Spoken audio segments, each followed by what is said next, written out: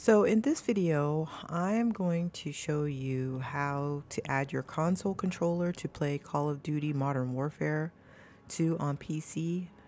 A lot of people have been having issues. I've seen videos showing people to how to find a previous um, mouse uh, application or function on their computer and install it on like from uh, Call of Duty before or Call of Duty Vanguard and um, just like Modern Warfare and install it on their PC. And that's just the wrong way to go about doing it. So I'm going to show you an easier way and hopefully this will be a lot simpler for you.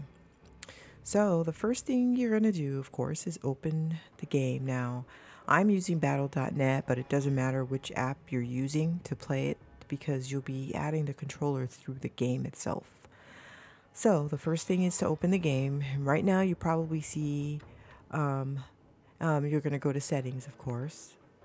So you open up settings. Um, right now, you'll probably see if you go into keyboard and mouse that you'll only have the option for the mouse.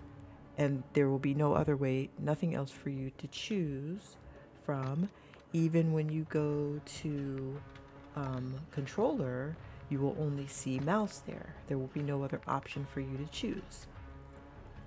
So here's what you'll do.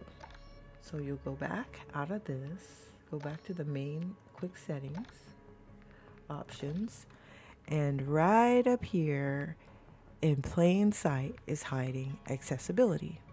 So you'll click on accessibility and you'll see the input option for the aiming input device. You will have the, the option of selecting a controller at this point. Once you select that controller and you go back to your keyboard and mouse settings and now you have the option to choose between a mouse and a controller. That was easy. So I hope that helps. Thanks for watching.